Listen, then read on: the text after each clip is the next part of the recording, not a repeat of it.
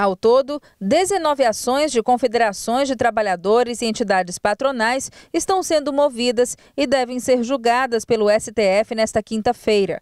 Uma delas é a contribuição sindical obrigatória, que, segundo essa especialista em direito do trabalho, é alvo frequente de ações judiciais que pretendem manter a obrigatoriedade da contribuição. No TRT do Piauí, o Tribunal Pleno tem negado o desconto, reconhecendo a constitucionalidade do dispositivo que extinguiu a contribuição com a reforma. A contribuição sindical, que era uma contribuição prevista na Constituição Federal, foi cessada pela reforma e, de uma certa forma, isso tira o poder de movimento do sindicato, porque é uma, uma contribuição que vai afetar bastante no poder financeiro. Né? Então, o que, é que a gente espera da decisão do STF? Que seja decidido em definitivo, para que dê uma maior segurança jurídica para os processos né, que tramitam hoje na Justiça. Considero importante, então, que se mantenha essa contribuição? É importante, assim, que ainda se mantenha, que se estruture uma outra forma de trabalho para os sindicatos, mas a contribuição é importante, sim. Não podemos ser indiferentes com a luta sindical pelos direitos trabalhistas, e isso, com certeza, vem enfraquecendo o sindicato. Agora, está nas mãos do Supremo Tribunal Federal decidir se mantém o que estabelece a lei ou se considera a contribuição obrigatória inconstitucional. Para a especialista, o julgamento pode enveredar por algumas vertentes. N alternativas podem acontecer amanhã nesse julgamento. Pode ser que se vote por unanimidade e restaure a contribuição sindical, como eu disse anteriormente, porque era previsto na Constituição.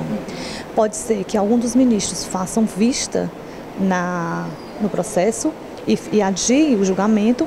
E pode ser que com isso também se conceda uma liminar para restaurar a contribuição sindical de imediato. Este representante da CUT, Central Única dos Trabalhadores, considera errada a cobrança obrigatória da contribuição sindical e defende, em nome da entidade, uma mudança na estrutura sindical brasileira. Nós defendemos, de fato, é que a entidade sindical ela deva ser sustentada pela contribuição mensal das suas bases, como acontece com os sindicatos que são filiados à nossa central, a CUT. E para a substituição do imposto sindical, o que a gente defende é que seja uma taxa que venha a contribuir com a manutenção da entidade, mas que seja aprovada em assembleia pelos trabalhadores, porque hoje o imposto ele recolhe de quem é filiado e de quem não é filiado. E aí a gente tem que respeitar o direito das pessoas. A nossa Constituição diz que é livre a associação sindical. Eu sou livre, eu tenho o direito de estar numa, numa associação de classe, mas ele não pode ser impositivo.